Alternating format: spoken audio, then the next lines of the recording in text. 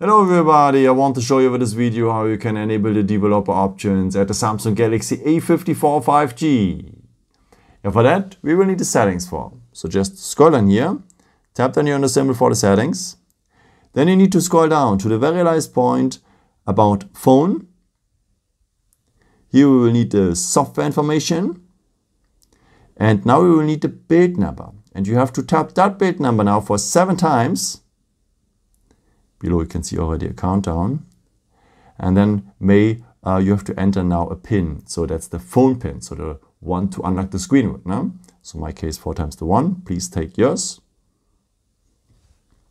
And go on done then maybe. And the developer options are enabled. But where to find the developer options? For that you go back one step and another step so that you're back at the general settings.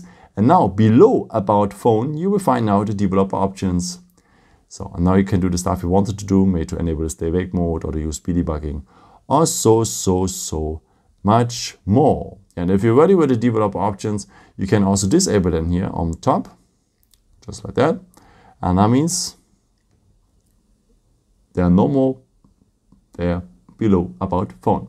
But if you need them back, just tap seven times on the build number as I have shown you before.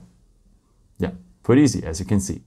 I hope I could help you with this video and answer your question. And uh, yeah, if you want, you can leave me a nice comment or give me some thumbs up. That will be very helpful for my videos. Uh, thank you so, so much for.